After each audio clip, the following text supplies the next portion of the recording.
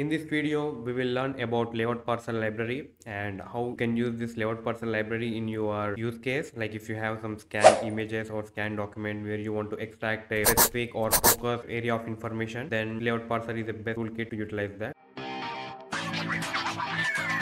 Layout Parser is a unified toolkit for deep learning based document image analysis. Many advanced research has been made for document image analysis, but due to loosely organized code bases or sophisticated model configuration, it made it complicated the easy reuse of important innovation by the wide audience. This is a major gap in the existing toolkit. Uh, this paper introduces Layout Parser, an open source library for streamlining the usage of deep learning in document image analysis research and application. The core of layout parser library comes with a set of simple and intuitive interface for applying and customizing deep learning models for layout detection and character recognition as well. To promote extensively, layout parser incorporates a community platform as well where we can share pre-trained models and full document digitalization pipeline as well. Deep learning based approach are state of the art for a wide range of document image analysis like document image classification, layout detection, table detection and scene text detection. But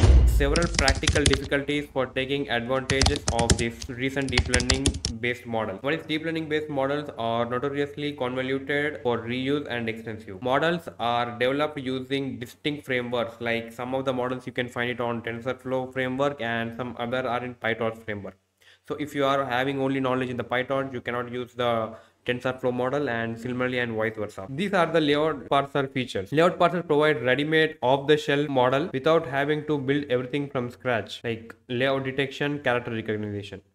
A rich repository of pre-trained neural network model that is model zoo that we can use direct comprehensive tool for efficiency document image annotation and model fine-tuning to support different level of customization. Deep Learning Model Hub and community platform for the easy sharing, distribution and discussion of document image analysis model and pipelining similar to Torch Hub or TensorFlow Hub. This can be easily installed via a pip install. An overview of related works are DH segmentation, object detection methods like FastRCNN, MaskRCNN, Graph Neural Network, OCRD projects, document layout analysis project, deep layout on to PubLayNet, document analysis and exploration, DAE platform, deep diva project, OCR engines like Tesseract, EasyOCR, Paddle OCR, and Allen NLP and transformers. These are some related works which are also similar to layout parser that you can check after this video